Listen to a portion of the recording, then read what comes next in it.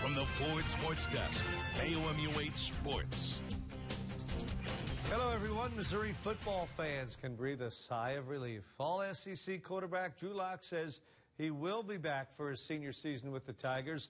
Lock had been thinking about leaving school early for the upcoming NFL draft, but today announced he intends to return for one more year. What a year Lock just completed. He threw for a school record and SEC record 44 touchdown passes, leading the country in that category. He will lead a Tiger offense that returns nine starters for the 2018 season. The Missouri men's basketball team has a chance to forget about that heartbreaking loss to Florida when the Tigers take the court tomorrow night against the Georgia Bulldogs. Florida and Chris Chiozza stole the game from Mizzou Saturday afternoon when the Tigers in a tie game had the ball until Chiozza made the steal and layup in the final seconds of play. Next, a visit from Georgia. The Dogs have won two of their first three SEC games and are led by preseason co-conference player of the year, Yante Maten, averaging 20 points and nine rebounds. Uh, we'll all have to help for sure. Um, you know, he's a he's an extremely talented player, an extremely physical player, and um, could potentially get our bigs in foul trouble. So um, we definitely have to help them out. Um, but it also comes down to you know them you know, being strong with him, being physical with him, matching his physicality because he's really going to bring it for sure. Um, we just got to be ready because if we could slow them, we, if we can slow him down, we definitely have a really good chance of winning this game. I saw him from afar when he came out of high school, and you watch him now. He's grown as a basketball player. Obviously, his coaching staff have done a great job putting him in a position to be successful, but a, but a great frame on him. Texas A&M at Kentucky tonight in SEC play. What a game this would be. DJ Hogue for the Aggies on the dribble drive and a basket. A&M led by six. The Aggies finally with their full complement of players. They've been shorthanded throughout much of this season, but here come the Cats. PJ Washington the steal. Kevin Knox the lay-in. It's a two-point ball game. Then Shai Gilgeous-Alexander on the drive follows his own miss, and with under a minute to go, Kentucky a three-point lead.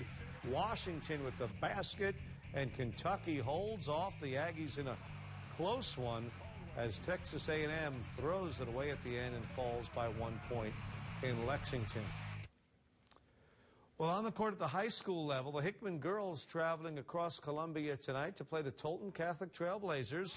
What a game this would be at Father Tolton Catholic High School, south side of Columbia. Great contest throughout. Underneath the basket, it's up and in for Hickman as the Kewpies get a couple of points there. And Back would come Tolton, though. Emma Barnes gets the loose ball, and she scores here. So the Emma's trading baskets. First it was Chapman for Hickman, then Barnes for Tolton, and then inside, good work by Shannon Yaki following her miss to score. Here's Christina Walker, the acrobatic lay-in for two Tolton Trailblazer points, and then Walker makes a three-point shot and in overtime, Tolton tops Hickman 56 to 55. A rough trip for the St. Louis Blues to the East Coast resulted in weekend losses in Philadelphia and Washington, D.C. Tonight, the Blues skating on home ice against the Florida Panthers. A lot of goals in this one. If you like scoring, this would be your game. Here, a deflection and a goal. Radim Vrbata scores to tie it at three. A few minutes later, it's another Florida Panther goal. Jake Allen allowed his fourth of the night. He would be pulled, and it didn't get much better after Allen left because Vincent Trocheck scored there against Jake Allen, but then Cam Hutton came, Carter Hutton came in, and he struggled as well as the Panthers kept racking up the goals. They put seven on the board in St. Louis, seven for the final. Panthers and the Blues, their third loss in a row. That's sports.